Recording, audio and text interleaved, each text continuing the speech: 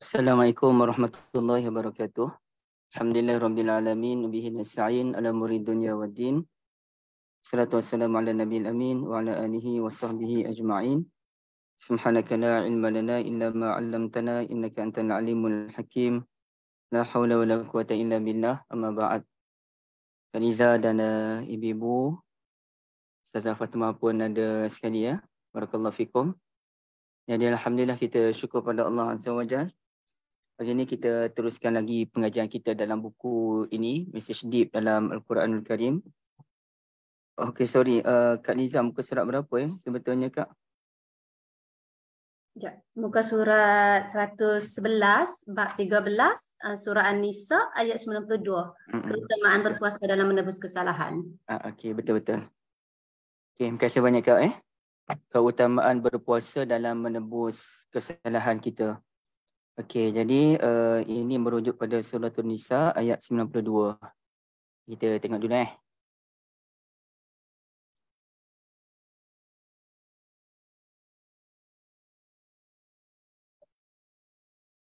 Ustazah Fatma kalau saya ada silap tolong betulkan eh. Ataupun kalau ada sebarang perkongsian pun dilalukan insyaAllah. Eh, saya selalu buka yang bahagian sini. Patutnya terjemahan kan, terjemahan surah An-Nisa.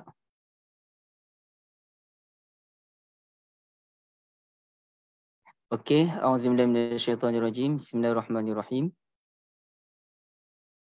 Kita tengok pada yang bawah tu.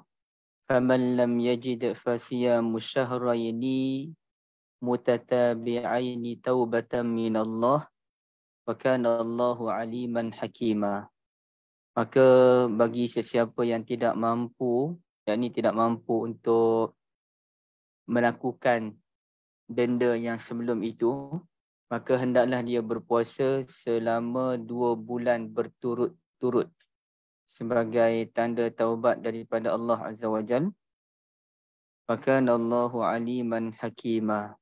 Okay iaitu Allah Ta'ala itu maha mengetahui, maha bijaksana. Artinya taubatan min Allah ni perbuatan yang kita lakukan tu berpuasa dan lain-lain merupakan satu cara taubat yang didatangkan oleh Allah Azza wa Jal dan bila kita buat benda tu Allah Ta'ala akan terima taubat kita. Baik. Ibu-ibu, tuan-tuan dan puan-puan dirahmati Allah sekalian dia dalam ibadah kita ni kita boleh katakan yang menjadi satu kemestian ya iaitu solat, zakat, puasa. Okey. Solat, zakat, puasa merupakan kemestian kepada hampir seluruh umat Islam. Satu. Cuma dalam tiga itu yang betul-betul terkena kepada seluruh umat Islam adalah solat, tanpa ada uh, pengecualian kecuali orang yang ada uh, ketidakwarasan akal itu lain. Uh, sekejap ya tuan-tuan sekejap aja.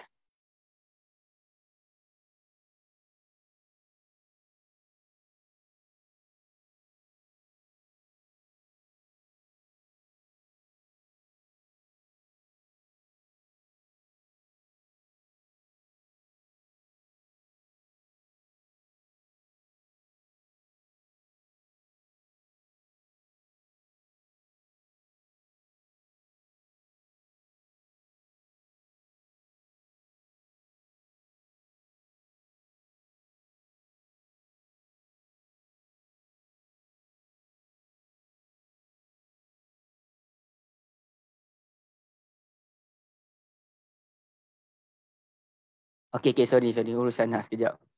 Okey. Uh, kembali pada tadi. Kalau ibadah salat ni boleh dikatakan seluruh umat Islam wajib mengerjakannya walaupun sakit. ya, Kecuali orang yang menghadapi masalah kewarasan akal antaranya. ya. Baik, yang kedua kalau ibadah zakat pun hampir seluruh umat Islam diwajibkan ibadah zakat merujuk kepada zakat fitrah ya zakat uh, zakat fitri kecuali orang yang betul-betul tidak ada kemampuan dan tidak ada makanan pada hari raya tersebut. Ha, tapi kalau kita boleh dikatakan semua umat Islam di Malaysia ni, saya tak kata semua ya, boleh dikatakan semua umat Islam di Malaysia wajib membayar zakat fitri. Baik. Dan uh, kalau dalam kes puasa, walaupun dia wajib, tetapi dia kelonggaran dia tu agak luas sedikit.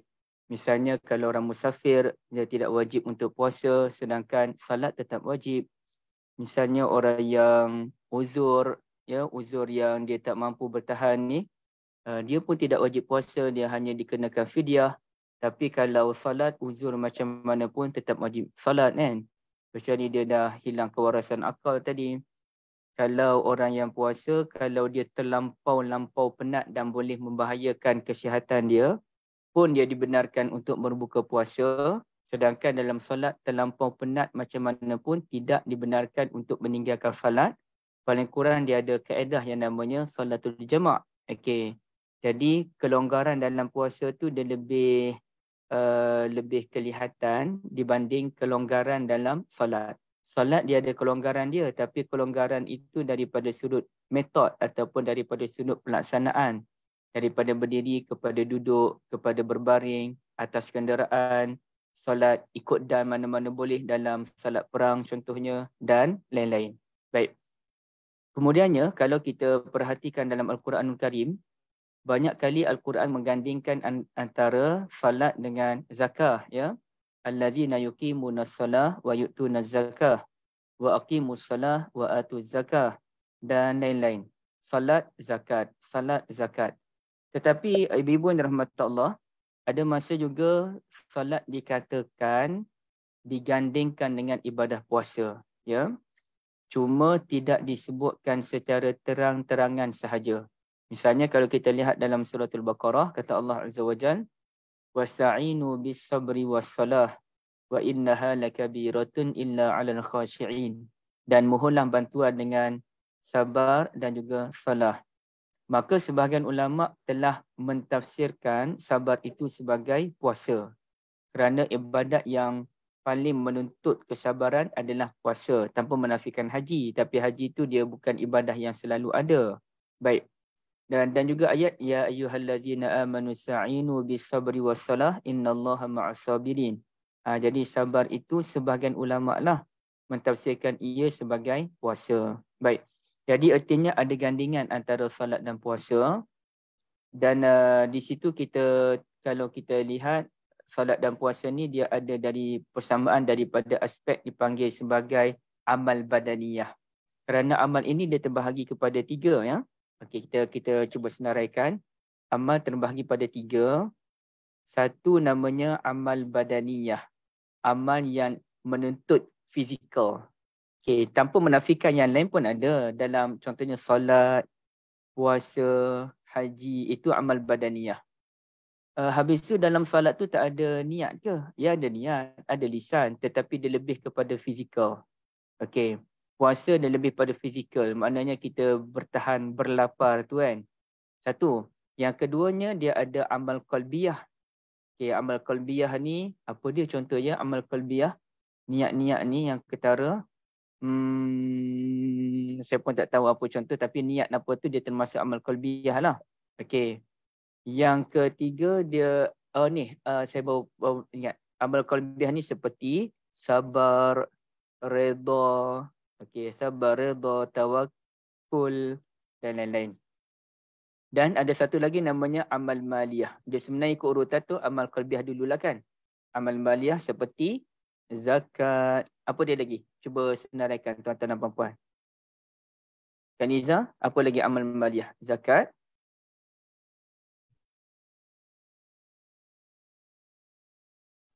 Uh, Malih ni apa? Amal ke harta ke Ustaz? Uh, uh, harta, harta. Sorry, sorry. Uh, haji? Sedekah semua tu Ustaz? Uh, sedekah lagi. Zakat, sedekah. Haji? Haji amal uh, badaniah. Hmm.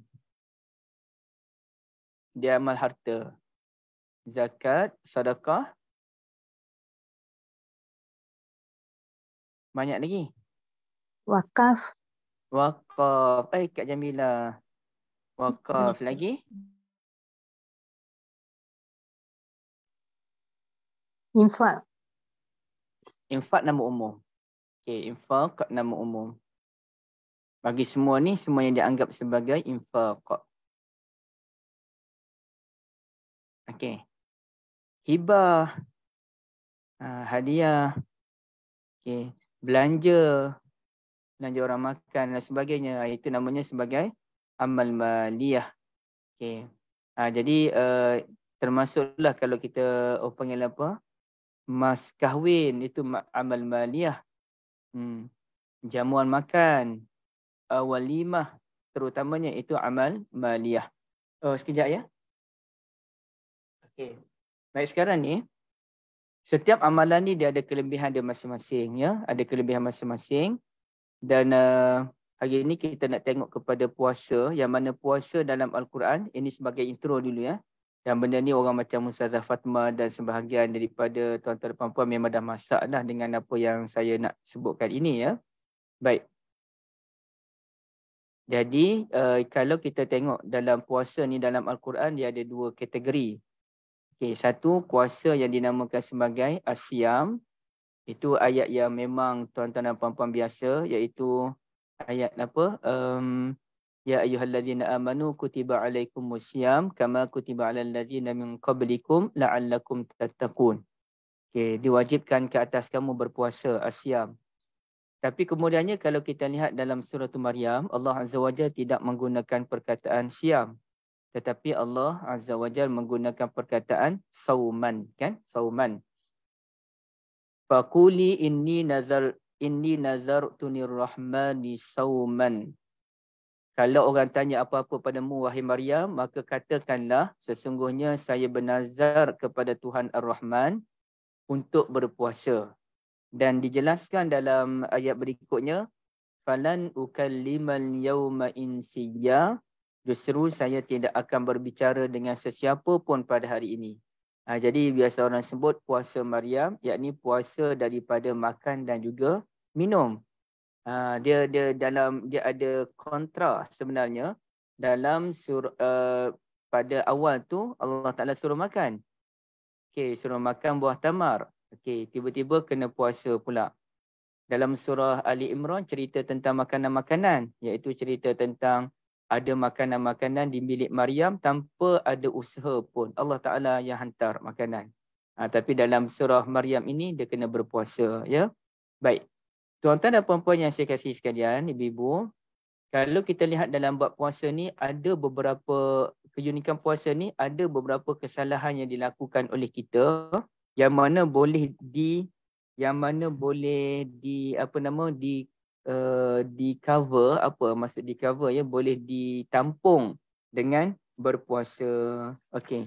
Dua itu disebutkan dalam Al-Quranul Karim dan salah satu lagi disebutkan dalam hadis Nabi sallallahu alaihi wasallam. Okey, apa dia kesalahan yang menyebabkan kita kena berpuasa? Pertamanya kita lihat dalam surah Al-Mujadalah.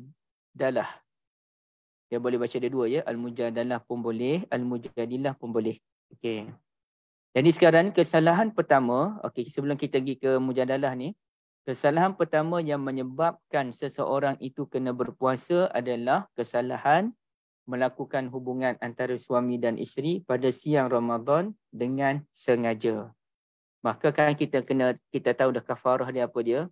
Yang pertama dia kena bebaskan seorang hamba wanita yang beriman. Okay, cuba tanda eh, hamba wanita yang beriman. Okey, satu.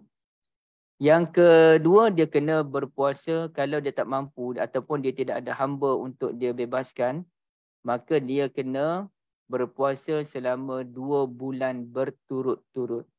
Dan dua bulan itu tidak dinyatakan uh, berapa hari, hanya nyatakan hanya dua bulan. Sama ada 30 hari, 29 hari kembali kepada bulan yang dia berada pada masa itu. Tapi nak selamat, kita puasa 60 hari lah. Dan bila sebut berturut-turut itu, maka kata ulama, artinya kalau orang tu dah puasa selama 50 hari, dan pada hari 51 dia berbuka puasa, dia dia tak puasa pada hari 51, maka batal, dia wajib puasa balik bermula daripada hari yang pertama.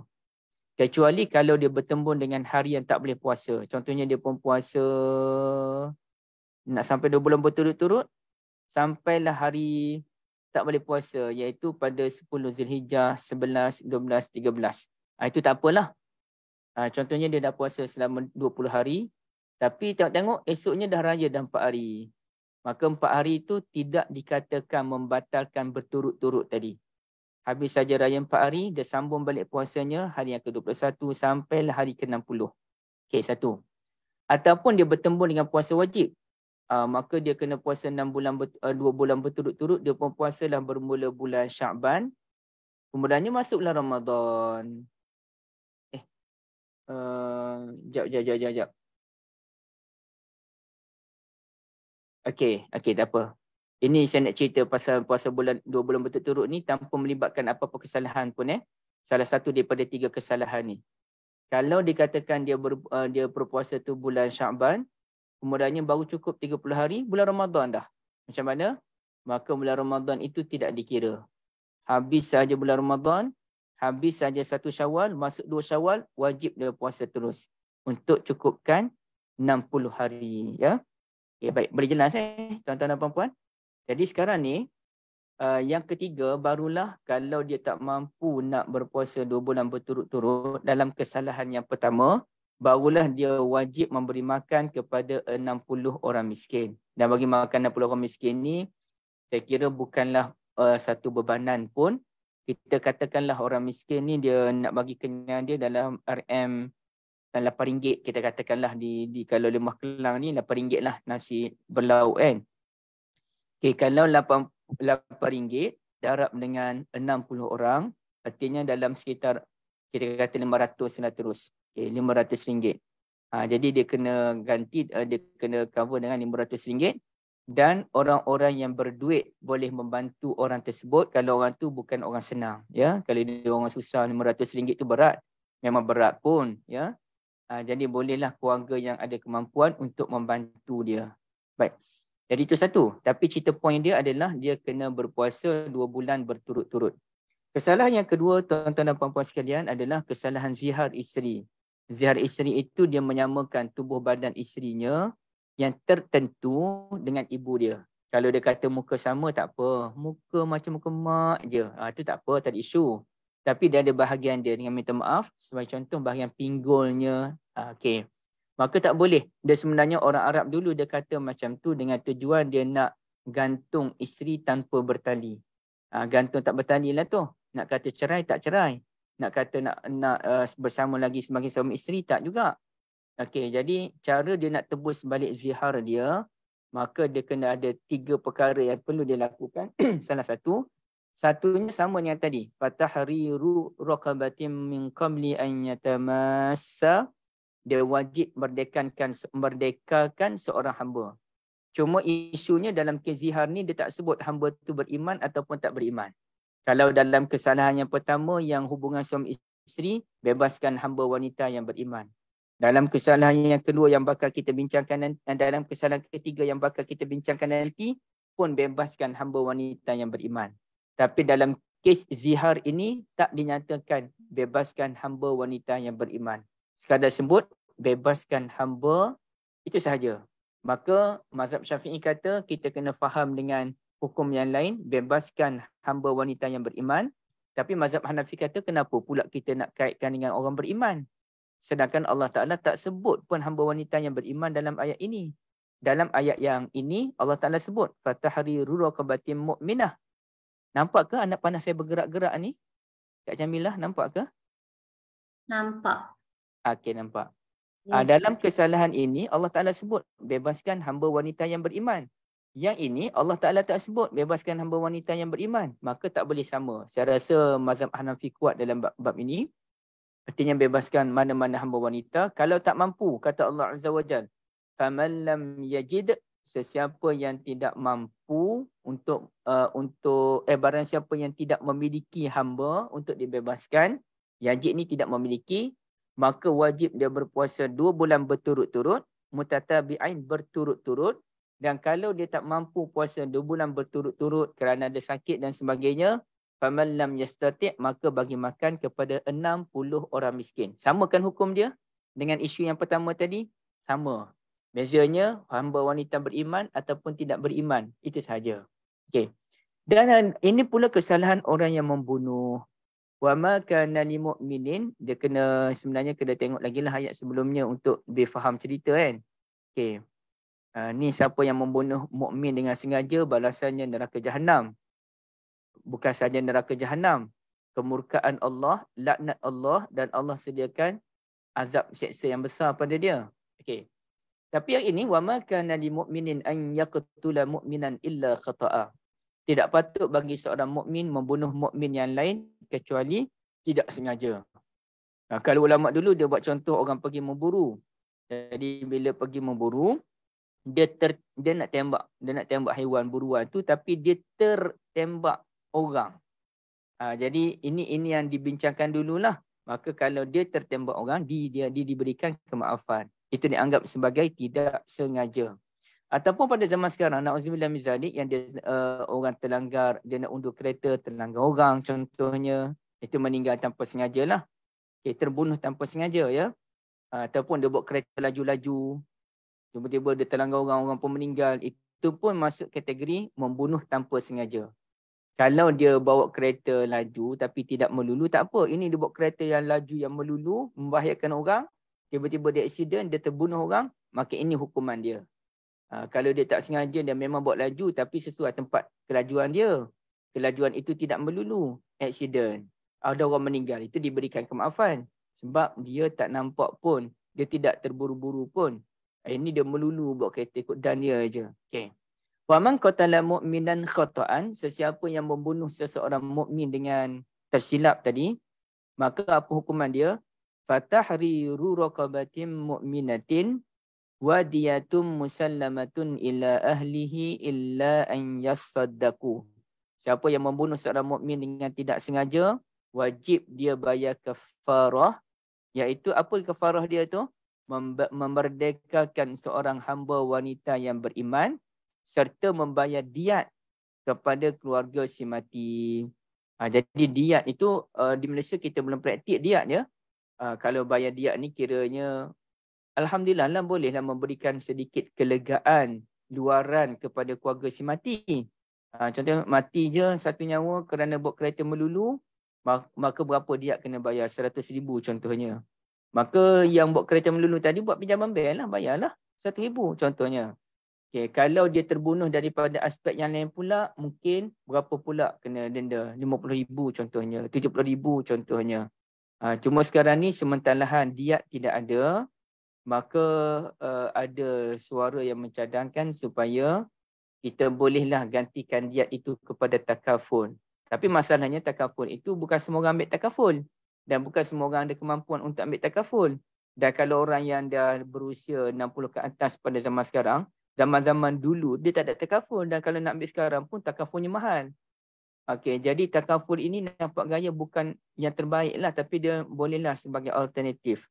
Yang paling tepat adalah orang yang terbunuh tadi, dia yang kena bayar denda. Dengan itu, kalau takafur, dia tidak memberi keinsafan kepada pemandu yang melulu tadi. Tapi kalau ada uh, kalau ada denda, uh, barulah dia rasa takut. Nak buat kereta laju pun takut. Sebab kalau terbunuh orang, satu ribu duit melayang. Dua ratus ribu duit melayang. Uh, jadi, baru dia ada timbul ketakutan untuk membawa kereta secara melulu. Okay. Kecuali kalau keluarga si mati maafkan, tak apalah kami halal je lah. Tapi jangan tunjuk muka pada kami tu je. Nanti kami sedih. Okay. Geram pula rasa nanti kan. Duduk jauh-jauh. Tak payah lagi sibuk-sibuk dah hubungi kami. Okay, contohlah. Ya. Okay, boleh? fa in kana min qaumin aduwwin lakum wa huwa mu'minun fatahriru raqabatin mu'minah. Tetapi jika yang terbunuh dengan tidak sengaja itu kaum kafir yang memusuhimu. Ha, kita terbunuh orang tapi bukan oh, kita terbunuh orang beriman. Cuma kita terbunuh orang kafir ya. Kita terbunuh uh, daripada kaum kafir. Uh, daripada orang uh, daripada kaum kafir. Bukan dia orang kafir wahwa mukmin yang terbunuh tu kafir. Cuma dia datang daripada keluarga orang kafir. Kaum orang kafir. Okay. Tetapi jika yang terbunuh dengan tidak sengaja tadi, daripada kaum kafir yang memusuhi kamu, sedangkan dia sendiri beriman maka wajiblah si pembunuh uh, silap silap silap uh, saya, saya ulang balik kita terbunuh orang kafir Kita orang beriman, kita terbunuh orang kafir. Ah itu yang betul. Maka kita wajib memerdekakan seorang hamba yang beriman. Okay. Dan jika orang yang terbunuh itu daripada kaum kafir yang ada perjanjian setia dengan kita, non-Muslim di Malaysia lah. Ini cerita uh, yang tadi orang kafir yang menentang agama kita. Uh, kalau kita terbunuh dia dengan dengan tidak sengaja, kita wajib bebaskan seorang hamba wanita yang beriman. Tapi kalaulah kita terbunuh non-Muslim, non-Muslim yang dia tak menentang kita pun, non-Muslim macam orang-orang bukan Islam di Malaysia ni, ibadah yang dirahmati Allah sekalian uh, maka dia wajib membayar diat kepada keluarga si mati dan membebaskan hamba wanita yang beriman. Uh, diat itu diberikan penekanan berbanding dengan memberdekakan seorang hamba yang beriman. Kalau macam kes awal tadi, bebaskan hamba wanita beriman, kena bayar diat. Okay, merdekakan itu utama. Yang ini bila kita terbunuh non-Muslim, maka yang diberikan keutamaan adalah diat dan dalam masa yang sama kena bebaskan hamba wanita yang beriman. Okey. Sebab itu, minta maaf kalau berbelik. Faman lam yajid fasya musyahraini mutatabi'aini taubatan min Allah. Sesiapa yang tidak ada hamba, barulah dia dikenakan hukuman berpuasa dua bulan berturut-turut sebagai cara untuk bertaubat kepada Allah Azza wa Jal. Ha, jadi tak ada isu jamu orang makan ya. Dia ada dua je hukuman dia bebaskan hamba. Kalau tak ada hamba, maka puasa dua bulan berturut-turut. Okay. Jadi artinya dalam ketiga-tiga kesalahan yang dilakukan ini, sama ada kesalahan hubungan suami isteri di siang Ramadan, ataupun kesalahan uh, zihar, dan juga kesalahan terbunuh orang tanpa sengaja, maka hukumannya selaras iaitu wajib puasa dua bulan berturut-turut. Ya wajib puasa dua bulan berturut-turut hanya dalam isu membunuh sahaja ada isu diat membayar diat ataupun membayar denda. Okey. Mengapa puasa yang dijadikan amalan untuk menebus kesalahan-kesalahan yang kita lakukan? Ah itu yang pelik tu. Mengapa puasa yang dijadikan amalan untuk menampung kesalahan yang kita telah lakukan Maka kata ulama selihat dalam kitab Jamharat Maqalat Mahmud Syakir muka surat 112 ya ibu-ibu. Membebaskan hamba bermaksud membebaskannya daripada rantai yang mengikat kebebasannya untuk menjalani kehidupan. Kesalahan kita kena, kita ada kesalahan dan kita kena bebaskan hamba. Membebaskan hamba tu bererti kita membebaskan manusia daripada rantai yang mengongkong yang membelenggu dia selama ini membuatkan dia tak bebas. Okay. Manakala berpuasa pula membebaskan kita daripada tuntutan-tuntutan kehidupan yang tiada kesudahan, membebaskan perut kita daripada disumbat makanan tanpa henti dan membebaskan kita daripada kehendak-kehendak nafsu syahwat. Ah, jadi ada isu pembebasan di situ. Kalau hamba, pembebasan seorang hamba. Kalau berpuasa, pembebasan diri kita daripada terlalu mengikut nafsu syahwat terutamanya nafsu syahwat tentang makanan dan sedikit sebanyak ia mendidik kita agar menjadi orang yang lebih tertib, lebih tenang dan tidak melakukan kesalahan-kesalahan seperti yang dilakukan. Contohnya kita katakan kesalahan zihar. Artinya dengan berpuasa kita belajar sesuatu. Aku ni puasa, aku tahan sabar. Bila puasa, aku tahan marah. Aku puasa, aku tahan daripada masuk makanan ke dalam perut.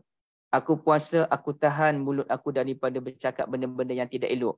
Maka sama juga dalam kes zihar tadi, kita kena tahan diri kita daripada buat sesuatu yang mengguris perasaan hati isteri kita, gantung tidak bertali tadi. Okay. Sebagaimana juga hubungan suami isteri di siang Ramadan tadi. Kenapa kita kena puasa?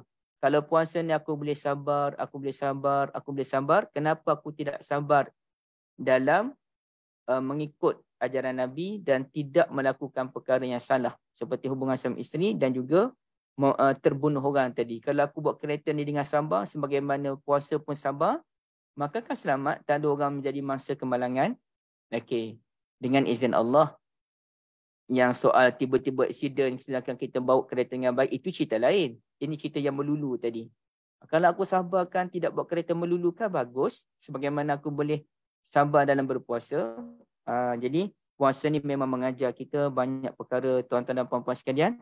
Sebab itulah puasa dijadikan sebagai satu bahan untuk mendenda orang-orang yang melakukan kesalahan. Dan memang betul pun puasa ni dia ada satu kedudukan yang tinggi, ibadah yang tinggi sehingga kan ada je ulama yang menyatakan puasa lebih tinggi daripada ibadat salat itu sendiri. Kerana Allah Azza wa Jalla menyatakan innama yuwaffas sabiruna ajrahum bighairi hisab hanya senya Allah Taala sentiasa menyempurnakan kepada orang yang sabar pahalanya tanpa hitung. Jadi orang yang sabar itulah yang ditafsirkan oleh ulama sebagaimana saya duduk uh, sebutkan tadi iaitu merujuk kepada orang yang berpuasa. Okey. Apa lagi kata Allah Azza wa Jal, asyamu li wa ana ajzi. Puasa itu untukku dalam hadisul qudsi dan hanya aku yang mampu memberikan balasan kepada orang yang berpuasa. Ha, jadi sebab itu ada sebahagian ulama kata puasa lebih tinggi kedudukan daripada salat. Ha, tetapi pendapat yang paling kuat adalah salat yang paling tinggi yang tak tak boleh lawan salat ini. Dia punya kedudukannya luar biasa, ya. Baik, itu satu perkara ada soalan dulu sebelum kita lompat ke ayat 95? Okey, semua okey eh? Kak Niza, okey Kak Niza? Okey Ustaz. Okey. Uh, ni ada um, Kak Syida pun ada, Dr. Manirah pun ada. Tuan Azrin pun ada ya. Ibu Balkis pun ada. Barakallahu fikum. Dan lain-lain. Puan Noris, Puan Syamsiah, ada dua ni. Syamsiah, matahari. Qamariyah, bulan. Oh, ada dua ada. Mentari ada, bulan pun ada. Alhamdulillah. Kan ada bintang kat sini.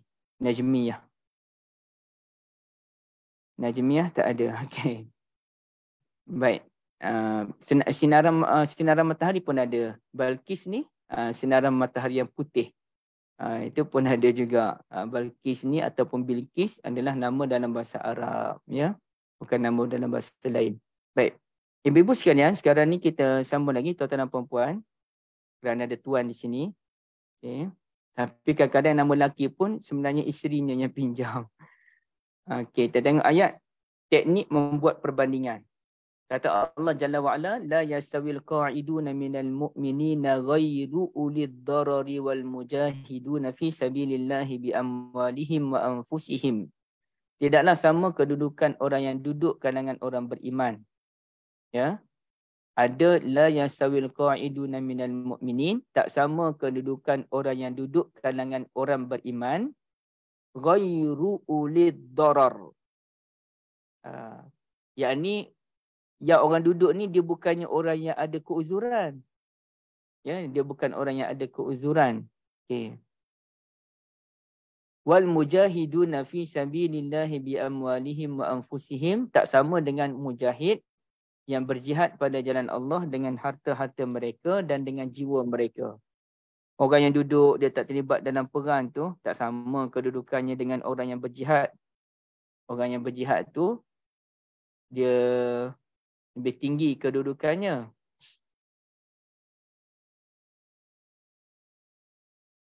Eh, sekejap ya. Sekejap, sekejap.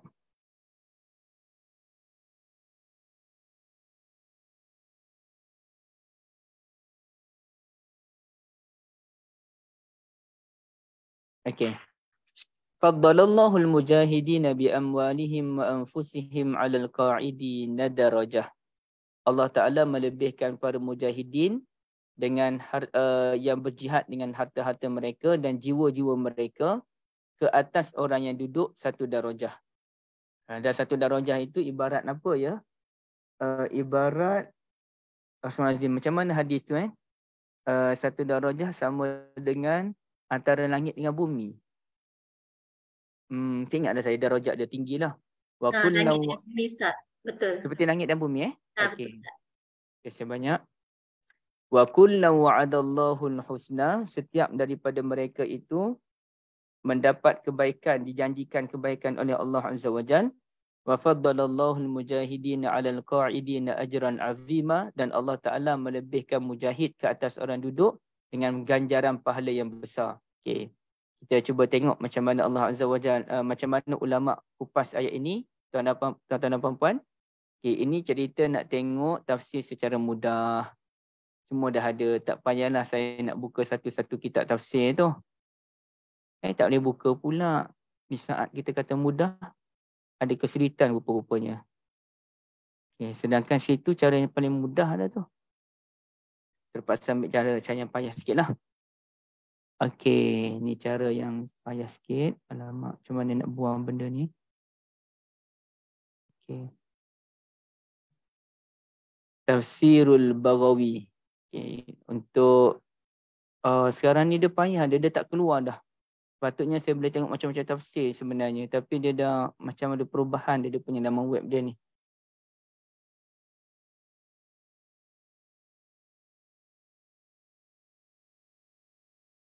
Inna fil madinati na'am Okey, ada ulama kata apa dia kalau Ibn Abbas radhiyallahu anhuma an Badrin wal kharijuna ila Badr. Ha. Ini merujuk kepada tentera Badar kata Ibn Abbas. Tak sama orang yang berjihad pada jalan Allah dengan orang yang duduk. Artinya orang yang duduk di Madinah tu bukan dia tak nak terlibat dengan perang Badar, tapi perang Badar kan perang yang berlaku tanpa dirancang kan. Ha, tanpa dirancang. Ha, jadi um, jadi benda tu berlaku tanpa disedari menyebabkan ada je orang yang tidak join dalam perang badar tersebut sedangkan kalau mereka tahu mereka nak berjihad.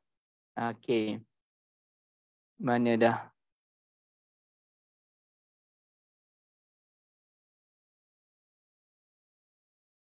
Itu satu. Kemudiannya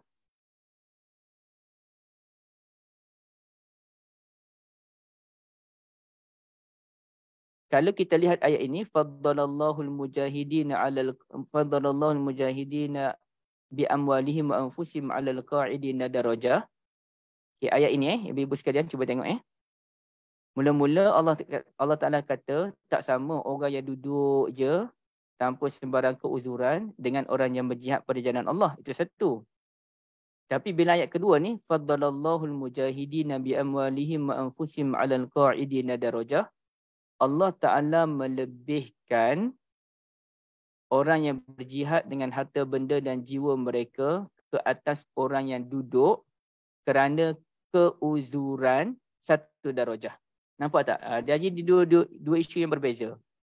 Yang pertama Allah Ta'ala kata orang yang duduk tanpa uzur itu dia tak sama kedudukan dengan orang yang berjihad pada jalan Allah. Cerita yang kedua pula Allah Ta'ala telah melebihkan mujahid pada jalan Allah ni ke atas orang yang duduk kerana ada keuzuran satu darajah. Jadi ada orang tu dia tak pergi perang, kenapa tak pergi perang? Dia tak ada senjata nak pergi perang. Dan Nabi SAW tidak membenarkan orang yang tidak ada senjata, tidak ada kenderaan, uh, dia tidak ada kenderaan untuk pergi berperang. Dia uh, dia tak perang lah, perang macam mana? Kalau perang dekat-dekat, pergi. Kalau perang yang jauh tu, Nabi memang ada. Nabi tak bagi orang yang tidak ada kenderaan untuk pergi. Jadi nak tak nak, dia kena cari kenderaan. Dia kena kena pinjam atau kena cari funder. Okay. Dan Nabi juga tidak membenarkan orang-orang yang lemah fizikal untuk terlibat dalam perang. Justru kita kita pun tak tak dengar kot Abu Hurairah terlibat dalam perang. Bahkan Allah Ta'ala pun sebut tidak perlu semua orang pergi berperang. Kena ada orang yang menuntut ilmu di Madinah. Supaya nanti mereka lah yang akan berkongsi ilmu tu kepada para mujahidin. Okay. Jadi artinya kalau orang tu memang tak pergi perang kerana keuzuran sama ada memang dia bukan kaki perang, dia pula jenis kalau tengok darah dia boleh muntah, dia jenis pula dia apa yang apa dia memang tak pandai pun berperang sebenarnya. Nak bertumbuk ni tak pandai. Tumbuk orang pun orang tak terasa sakit. Kemudiannya dia ni pula jenis orang yang uh, uzur. Kalau zaman sekarang ni dialisis contohnya. Ataupun dia ni orang yang tidak ada kelengkapan yang cukup. Ah, maka dia tidak perlu pergi perang. Jadi sama tak kedudukan orang yang uzur dengan mujahid tadi tak sama. Mujahid tadi lebih tinggi kedudukan berbanding dengan orang yang duduk saja. Okey itu clear. Tetapi apa yang diajarkan oleh Allah Azza wa Jalla dalam bab teknik membuat perbandingan ni? Ha, biasanya kita ni bila kita nak bubuh orang, kita hentam habis-habisan orang tu. Orang tu salah, orang ni salah. Habis-habisan kita bubuh orang tu. Terduduk orang tu sampai uh, dibuatnya. Okay. Tapi Allah Taala dia ajar kita wa kullam wa'adallahu husna setiap daripada golongan itu sama ada mujahid dengan orang yang duduk kerana keuzuran kedua-duanya mendapat janji yang baik daripada Allah Azza wa Jalla berupa syurga. Betul dia tak pergi perang tapi dia pun ada kesungguhan cuma dia ada keuzuran. Dia kali uzur keuzuran tu tak ada memang dia nak pergi perang. Ha, maka dia pun mendapat kedudukan yang tinggi oleh Allah Azza wa Jalla cuma mujahidin tu lagi tinggi. Ha, mujahidin tu lagi tinggi. Itu ceritanya. Dia macam ni lah tuan-tuan dan puan-puan sekalian. Okay. Macam mana kita kita nak um, macam mana kita nak bertelur uh, ber, ber, macam mana ya berinteraksi dengan orang ni kan. Okay. Bila masuk bulan Ramadan je, maka ada golongan yang mana dia solat 8 rakaat. Lepas 8 rakaat tu pun dia rehat lah. Pergi makan-makan ke, minum-minum moreh ke. Okay. Ada orang solat 20 rakaat. Maka tak boleh lah orang yang solat 20 rakaat ni, dia mengata orang solat 8 rakaat. Dah lah solat 8 rakaat. Sembang belakang-belakang. Kami makan minum. Okay. Tak boleh lah sebab kedua-duanya telah beribadah kepada Allah Azza wa Jal dan kedua-duanya ada saham di sisi Allah. Ha, cuma mungkin orang yang solat 20 tadi, kerana lamanya solat yang dia buat lebih tinggi kedudukannya daripada orang yang solat 8. Kecuali lah kalau satu surau solat 8 tapi lama. Satu surah lagi solat 20 dan kedudukannya sama lama. Uh, boleh jadi solat 8 tu uh, uh, sama kedudukan ataupun solat 8 tu lagi tinggi kerana lamanya dia tadi. Tapi ceritanya kalau solat 8 tu sekejap, solat 20 tu lama, confirm lah solat 20 tu lagi tinggi daripada solat 8 yang sekejap. Okay. Jadi sekarang ni tak, tak boleh mengatalah sebab dia kurang-kurang dia solat kurang-kurang dia beribadah kepada Allah Azza wa Jalla. Wa kullu wa'adallahu al-husna. Jadi kedua-duanya kita respect. Sekejap ya, sekejap eh.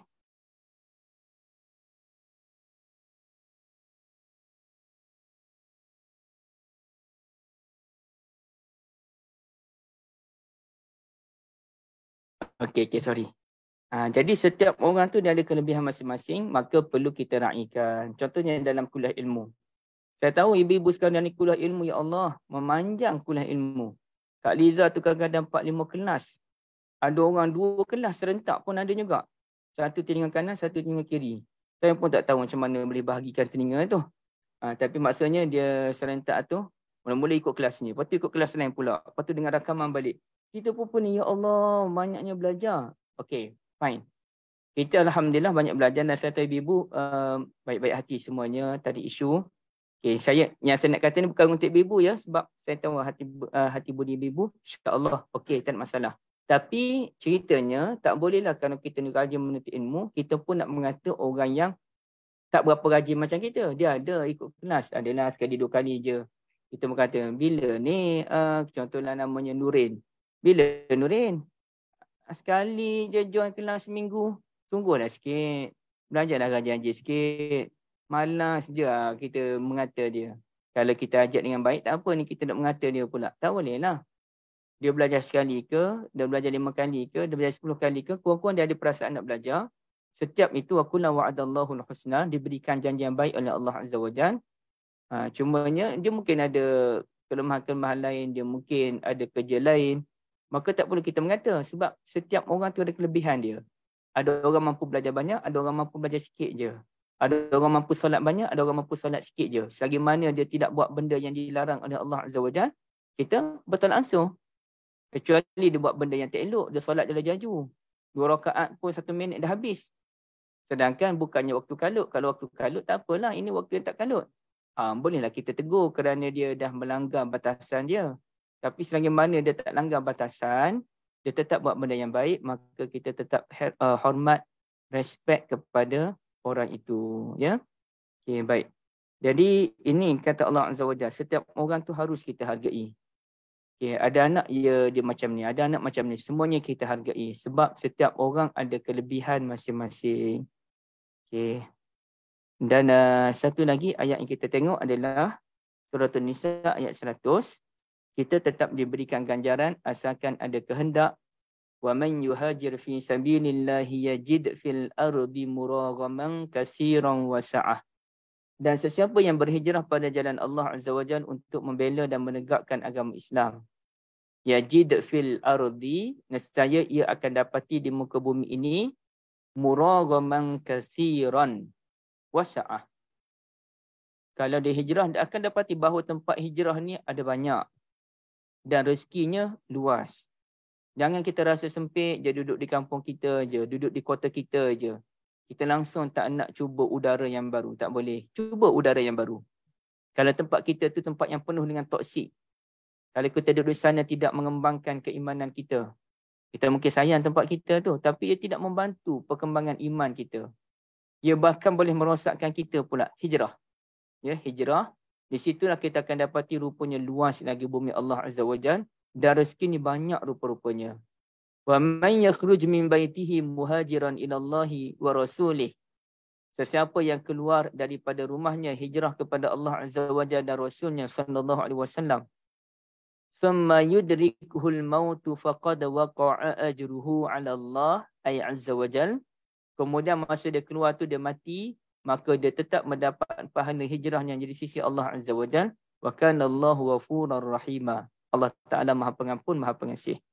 Jadi bila sahabat saya Ustaz Zarin datang duk sembang dengan saya macam mana ni, isterinya dapat uh, pekerjaan di Sabah. Sedangkan dia ni pula ada kerjanya. Dia dah kerja di uh, Hospital An-Nur Bangi. Okay. Tiba-tiba isteri dapat kerja di Sabah dan kerja tu kerja kerajaan lebih terjamin sedikit lah kita katakan. Kalau boleh naklah salah seorang daripada suami isteri tu terjamin. Okay. Jadi dia duduk sembang saya banyak kali sembang, saya kata hijrah. Jangan takut. Bila hijrah tu, hijrah dalam keadaan jangan takut. Ha, jadi kebimbangannya sudut ekonomi. Mana-mana orang pun akan bincang sudut ekonomi macam mana duit dia. Dia dah ada gaji sekarang ni, tiba-tiba hijrah tempat lain, mana ada gaji. Ni Allah Ta'ala sebut, ya jid fil ardi muragaman kasiran. Luas lagi muka bumi Allah ni, wasa'ah dan banyak lagi rezeki. Dan Alhamdulillah bila dia hijrah, rupa-rupanya luas rezekinya. Tapi luas rezeki itu perlu dirancang. Jadi saya pun ajak dia, jom kita bincang. Rancang satu-satu, kemudiannya saya bincang pula dengan kawan saya. Alhamdulillah kita jumpa jalannya. Ha, yang penting, bincang. Bukannya kita susah, kita tanggung seorang-seorang, aku tak tahu dah jalan macam mana. Kita tak nak bincang orang, kita tak nak buka mulut. Kacau lah kita kena tak nak susahkan orang. Biarlah saya pernah seorang-seorang. Itu bukan satu akhlak yang baik. Bukan kita suruh luah perasaan, bukan tak menentu. Cuma kita tanya pandangan. Sekarang ni saya ada masalah kewangan. Gaji saya dalam RM3,000 pendapatan saya bulanan. Tapi kalau kira kos semua tu, saya perlukan nak sedap duduknya RM5,000. Okay. Mana RM3,000 tu memang habis terus untuk bayaran-bayaran wajib. Sekolah anak dan bagai kereta rumah. RM1,000 tu boleh lama makan minum. Dan RM1,000 lagi nak buat simpanan lah kan boleh. Ada tak caranya untuk saya dapat RM2,000 lagi? Tanya orang. Kita duduk bincang, tanya orang. Mungkin orang pertama tak tak dapat bagi dia, tak tahulah macam mana. Susah hidup zaman sekarang ni. Ha, orang pertama mungkin kata macam tu. Okay, tak apa, kita tak dapat idea dengan orang pertama. Cari orang kedua pula. Okay, sekarang ni jumpa orang kedua, beritahu siap-siap. Saya bukan perlukan motivasi. Saya insya Allah orang yang sentiasa bermotivasi. Cuma saya nak tahu jalan. Saya tak jumpa jalan sekarang ni. Macam mana nak dapat 2,000 lagi tambahan? Ada tak jalan yang nak dapat 2,000? Ha, jadi kita bagi tahu orang tu kita nak 2,000 uh, sekarang ni dalam bulanan. Bagi tahu dia siap-siap, nanti terjumpa kita nak dengar pembentangan dia. Macam mana nak dapat 2000. Ha, jadi barulah kita senang. Tadi beberapa orang kawan saya dah. Bila sembang macam mana dengan kewangan, saya tak suka bagi motivasi. Sabar, doa pada Allah. Kita kita tawakal pada Allah, Allah akan berikan rezeki pada kita. Saya tak suka macam tu. Itu tidak menyelesaikan masalah dia. Dia memang orang baik dah. Dia memang tawakal daripada Allah Azza wa Saya suka, okay, jom kita duduk, kita bincang. Saya akan mungkin saya akan bermula dulu cerita saya dulu pun susah untuk dapat duit dalam seribu dan dua ribu tambahan tapi ini yang saya buat. Bukan saya nak cerita oh saya dulu pun susah juga tapi uh, dan bukan-bukan. Saya nak cerita dulu saya susah untuk dapat seribu dan dua ribu tambahan tapi akhirnya saya jumpa jalan ini jalan saya buat saya dapat seribu dan dua ribu tambahan. Okey. Sekarang saya nak kongsi idea tu dengan saudara pula. Okey, kita pun cerita kongsi Luas sebenarnya. Macam-macam lagi idea yang orang boleh kongsi dengan kita. Yang kita pun tak sangka. Bahkan mungkin kita boleh tambah lagi. RM5,000, RM6,000, RM7,000 daripada Allah Azza wa Jal. Itu rezeki yang luas. Allah Ta'ala akan berikan. Tapi dengan cara dan pengurusan yang betul. Okay. Kalau pengurusan tak betul, tak boleh. Macam saya dan uh, kawan-kawan syarikat pun, kita tanya pandangan orang. Macam-macam orang kita tanya. Dan uh, kita belajar daripada orang tua dan orang muda. Dan terbaru kami belajar dengan junior kami. Memang super junior. Jauh lah beza umur dengan saya pun. 10 tahun, 12 tahun. Tapi belajar walaupun dia muda tak apa. Sebab dia pandai dalam bina tu. Saya tanya dia. Macam mana boleh tak Sulaiman tolong bantu saya dalam bab ini. Saya tak pandai dalam bab ini. Oh dia pun analisis semua. Kawan saya pergi jumpa dengan dia dan analisis. Dan dia kata tak apa, hari Kamis ni, esok malam kita mesyuarat. Dia akan bentang strategi dia untuk dicadangkan kepada kami. Dia belajar. Ha, itu yang diminta oleh Allah Azza wa Jal. Bukannya kita ni berserah macam tu tanpa ada perancangan. Dan ini yang dilakukan oleh Nabi Yunus sallallahu alaihi wasallam apabila hijrah, Nabi rancang. Kan ada dua kali mesyuarat Nabi dengan uh, penduduk Madinah yang Aus dan Khazraj datang jumpa Nabi dua kali dalam Baitul Baitul Aqabah. Dan bila kali pertama 12 orang kan, kali kedua 72 orang. Dua orang tu wanita terlibat sekali memberikan idea. Buat perancangan dan sampai sekarang kita tak tahu apa benda yang dirancang oleh Nabi sallallahu alaihi wasallam tapi Nabi rancang.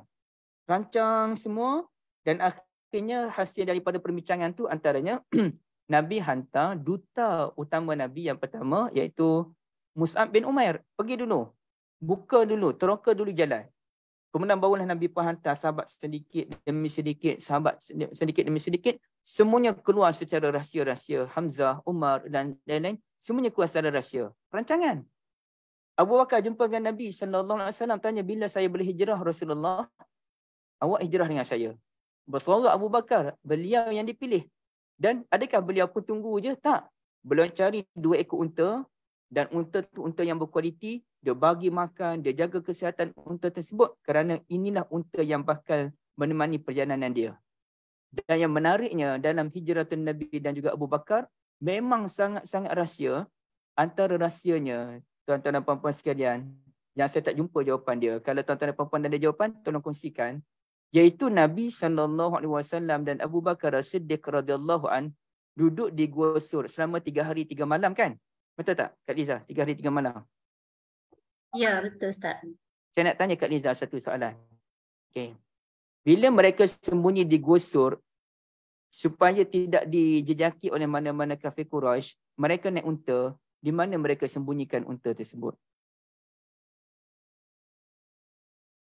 Ada yang apa nama yang orang yang orang dekat orang musyrikin Mekah seorang kah? Yahudi ke apa siapa tak ingat nama tu yang tolong sembunyikan yang bagi perasul kambing tu, gembala tu. Dia Amir bin Fahirah. Tak ingat nama apa Ustaz. Uh, Amir, Amir bin Fairah lah yang uh, gembala kambing tu kan. Hmm. Hmm, okay. Uh, jawapan Kak Liza tu, Kak Liza dapat daripada mana-mana buku ke ataupun sangkaan? Uh, lupa dengar kat mana. Okay, terima kasih Mak Kak Liza. Uh, saya pun sangka macam tu lah. Saya sangka Amir lah yang sembunyikan. Tapi dalam kitab tak disebut di mana unta Nabi disembunyikan. Nabi naik ke gusur, di mana unta tu duduk. Saya duk rasanya sama yang Kak Jiza sebut tadi, Amir Mufahirah yang sembunyi. Tapi saya pernah tanya penjaga muzium, muzium pasal Nabi di Masjid Nabi tu. Uh, saya tanya dia dan cakap Arab lah tuan-tuan dan puan Tapi jujurnya, entah saya cakap Arab bahasa apa pun boleh faham. Alhamdulillah.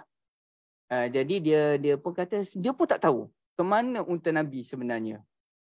Okay, jadi nak ceritanya, rahsia. Tapi rancang. Ha, mungkin Amin bin Fahirah lah yang sembunyikan unta tersebut. Tapi itu mungkin sajalah. Kita tak tahu. Tak, tak disebutkan dalam mana-mana kitab. Okey. Saya nak ceritanya. Apabila kita ada niat hijrah yang tinggi. Ada kehendaknya. Maka Allah Ta'ala akan bantu kita. Memudahkan kita. Tapi biarlah ia dirancang. Bukannya pergi tanpa perancangan. Hijrah perlu dirancang. Strategi perlu dirancang. Dan tidak boleh tergopoh-gapah dia kena step by step ya saya ingat kalau dalam dunia perniagaan ini kata puan Ainu Muhammad yang dia anggap sebagai sifu dalam dunia perniagaan ni antara sifu lah saya kata seorang dia kata dalam dunia bisnes bertahan adalah satu kejayaan dapat bertahan je boleh bayar gaji staff bertahan bertahan naik sikit-sikit turun balik naik sikit-sikit turun balik itu sudah dikira sebagai kejayaan Uh, bukannya kita nak melonjak tiba-tiba bila terlalu melonjak dia boleh jatuh terlalu cepat. Uh, jadi kita nak pelan-pelan. Melonjak tinggi. Okey tak apa. Walaupun melonjak tinggi langkah kita tu kena tenang. sikit-sikit jangan kita terlalu gopoh. Bila gopoh, kacau. Ha, tapi niat selalu kena pelihara. Niat kena selalu jaga. Okay. Kerana Allah Ta'ala itu memang selalu kerana Allah, kau buat ni kerana Allah, buat kerana Allah, menyelesaikan masalah masyarakat, itu kerana Allah. Okay. Tapi menariknya dalam ayat berikutnya, kata Allah kata Allah Jalla wa'ala, Sesiapa yang keluar daripada rumahnya ingin berhijrah pada Allah Azza wa Jalla Rasulnya sallallahu alaihi wasallam kemudian meninggal dunia dia tetap mendapat pahala di sisi Allah Azza wa Jalla ini cerita ada seorang sahabat Nabi ibu-ibu yang dirahmati Allah Okey, hmm, kat mana saya nak cari hadis tu? Payah juga ya. Okey, tapi ceritanya dia dalam perjalanan tu, dia dengan kawan dia hijrah ke Madinah, Darut Taibah dan kawan dia telah mening, uh, telah sakit dan kerana kawan dia tak tahan dengan sakit tu kawan dia bunuh diri sendiri dengan cara kelar tangan. Mati dia, ya. Dan kemudiannya kawan tadi pun bagi tahulah Rasulullah sallallahu alaihi wasallam cerita kawan dia tadi dan dia mimpi jumpa dengan kawan dia, mimpi kawannya berada dalam keadaan yang terbaik. Cuma tangan je berbalut. Maka doa Nabi sallallahu alaihi wasallam, Allahumma ighfir li yadayhi Ya Allah ampunkanlah tangannya, artinya sembuhlah tangannya balik. Ha, jadi di sini walaupun dia mati membunuh diri, tapi kerana dia baru memeluk Islam dan dia begitu bersemangat untuk uh, hijrah pada jalan Allah Azza wa Jalla demi mencari cinta Allah dan Rasulnya, cuma dia terkhilaf. Dia terkhilaf. Maka dia layak masuk syurga walaupun mati membunuh diri sendiri. Itulah ceritanya tuan-tuan dan puan-puan dirahmati Allah. Ya. Okey. Saya rasa saya dah tak ada apa dah. Ada soalan ke sebelum kita tutup perbincangan ni? Tak FB tak ada Ustaz. Okey, terima kasih banyak Kak Niza. Tuan-tuan dan puan-puan sekalian, kita berhenti di sini. Semoga Allah Azza wa Jal akan memberikan kita kekuatan dan uh, saya nak maklumkan kepada tuan-tuan dan puan-puan sekalian ya. Uh, nanti apa-apa pun tuan-tuan dan puan-puan boleh tengok di Facebook saya. Muhammad um, uh, Zulkhairi Khairi ya. D-Z-U-L. Zulkhairi Khairi. Nanti dalam dua hari lagi kita akan launching pre-order buku memahami fahami salat sunat dan buku ini antara buku yang paling sukar untuk saya siapkan memanggil memakan masa yang agak lama hmm, agak lama dan uh, setebal hampir 400 muka surat ataupun lebih tapi saya beritahu kalau boleh kita usahakan dalam 400 muka surat yang, yang terlalu lebih lah dan sebenarnya boleh panjang lagi cuma saya dah tak larat dan terlalu fokus. Kalau terlalu panjang pun dia akan jadi bebanan untuk membacanya. Jadi dalam buku Fahmi Salat Sunat ini banyak sangat poin yang kita bincangkan. Dan uh, antara poin yang dibincangkan adalah saya kongsikan bahawa kita boleh berdoa dalam bahasa Melayu secara lisan. Ada 10 hujah yang saya bawakan. Jadi sesiapa yang berminat bolehlah nanti untuk uh, dapatkan buku tersebut dalam dua hari lagi kita launching dan ataupun saya akan berikan link itu kepada Kak Niza nanti untuk dikongsi-kongsikan ya. Jadi tuan-tuan dan puan-puan, uh, kita berhenti di sini. Barakallahu fikum. Assalamualaikum warahmatullahi wabarakatuh. Subhanakallahumma bihamdika asyhadu an la ilaha illa anta astaghfiruka wa atubu ilaik. Terima kasih Ustaz. Terima kasih Ustaz.